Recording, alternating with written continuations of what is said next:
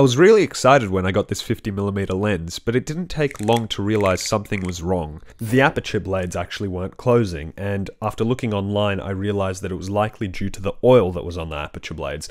So with no experience, referring to no guide whatsoever, and the wrong tools, I went ahead and pulled it all apart, and it was an experience to say the least. Here you can actually see the aperture blades themselves after I took them apart. I was so happy when I got to this point. I thought, oh, finally, finally, we're almost ah, done. And then I realized I don't actually know how to put them back together. And then went ahead, figured out how to put them back together, only to realize that I had put it in the wrong way. Taking it out, it fell apart. But in the end, it all worked. It turned out the problem was actually a bit worse than what I realized because there was a metal bit that was bent out of shape, ended up just taking it out. Shh, we don't talk about that, it worked.